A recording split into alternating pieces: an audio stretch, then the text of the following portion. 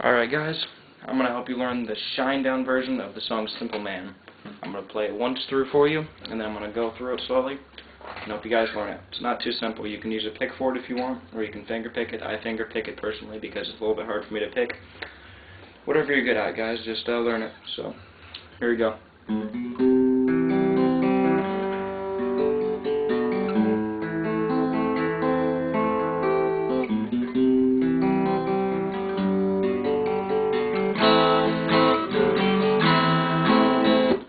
That's the intro right there, okay? Alright, to start out with for this little first part. Alright, the fifth string, here you go. It's open, two, three. Open, two, three. I don't use my middle finger because when you switch from it, and you go to your C chord, it gets caught up right here. So I just go pointer, and then ring. Zero, two, three. Keep this ring finger on, go to a C chord play up to it, back down, play, your pointer finger went open, play up, back down, pointer finger open.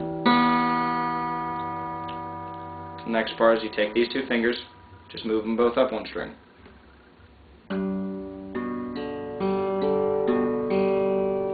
Same thing, you play from the bottom, you play up a little bit,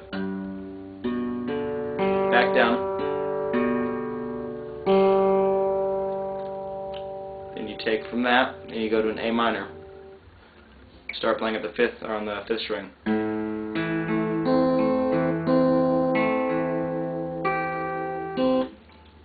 So you go fifth, fourth, third, second, third, fourth, second, third, fourth, first string. First string is a pinky on the third fret. So if you just listen to it slowly and try to play it on your own time, it's really not too hard to figure out. There's not much, you know, crazy picking, just uh, that pinky part at the end there. It's just mostly you're picking up and back down. So.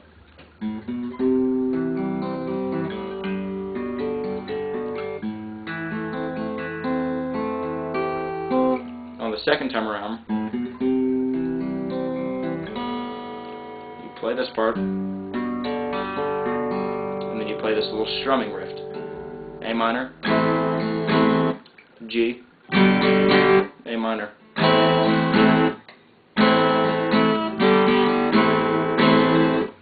So, that's the intro right there. So the whole thing put together one more time goes like this. I'm going to play it slowly for you guys.